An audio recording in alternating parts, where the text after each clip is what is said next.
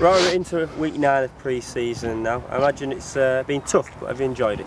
Yeah, I really enjoyed it. Uh, obviously, um, the standards uh, really increased this year um, and a lot of people um, you know come back from uh, uh, holidays and everything else and it's been a real eye-opener Uh, but it's been good. Uh, I think we're in a, in a really good place to start the season um, and there's a bit more work to be done yet but look forward to it.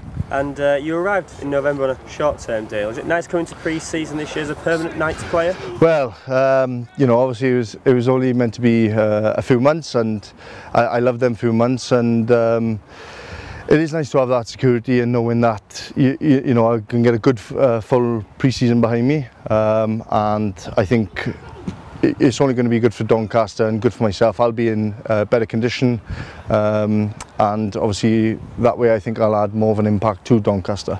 And uh, the first Knights' friendly is against Bridgend later this month. That must be a game you're looking forward to, having started your career there and being from the area. Well, you, know, going to uh, Bridgend, there's, there's, there's no better place to play rugby really. It's a hub of um, sport down there and some of the best players to ever uh, play the game have come from there. Um, so, you know, it, it, it, no, I'm really looking forward to it. They're, they're a really good bunch of boys down there in Bridgend and um, they work extremely hard.